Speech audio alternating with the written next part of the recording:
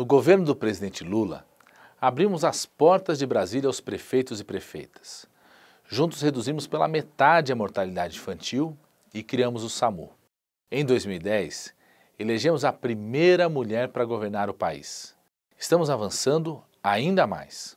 Como ministro da Saúde da presidenta Dilma, os medicamentos para hipertensão, diabetes e asma agora estão de graça no Aqui Tem Farmácia Popular.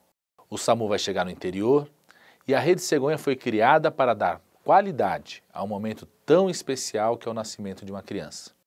Hoje, mais de 2 milhões de pessoas já são atendidas por mês nas UPAs 24 horas. E mais de 25 mil unidades de saúde nos bairros estão sendo construídas e ampliadas. Nosso novo esforço é atender mais rápido quem precisa de uma prótese dentária, cirurgia de catarata, varizes e próstata. Em um ano, aumentamos para quase 3 milhões de pessoas beneficiadas.